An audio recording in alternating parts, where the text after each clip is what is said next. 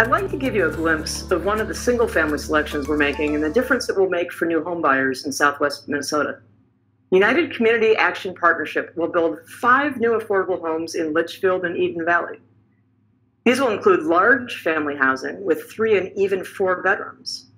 UCAP, as they're called, has built 11 homes in southwest Minnesota over the last five years. And last week, I had a chance to talk to one of the new home buyers in one of these homes named Anna.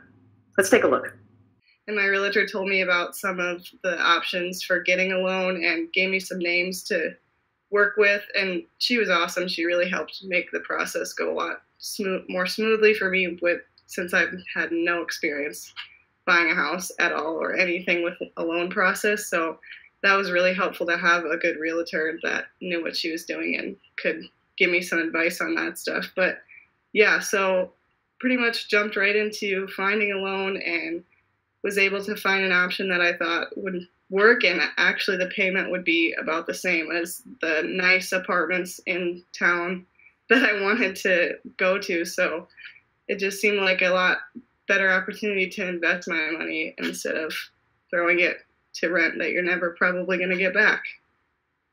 That's great. I was uh, I, I, was 35 when I bought uh, bought my home, so uh, you're getting a great head start. I, we wanted to talk with you because United Community Action Partnership, which helped uh, do this, is doing a similar project in Litchfield that we're that we're uh, that we're highlighting today.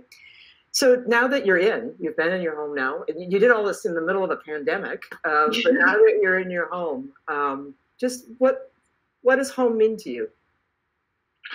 Um, to me, it's just having my own place that I can say is mine, and it's really like rewarding to tell people, yeah, I bought my own house at 22 years old. Like, that's something I never ever even imagined. I didn't even consider that, but it is possible, and it is something to think about, and that kind of is a cool thing that I'm able to tell people about that, and they're like, "How did you do that?" And it's something that it is you don't have to be, you know, 40 years old and buy a house. You can, or be married or anything like that.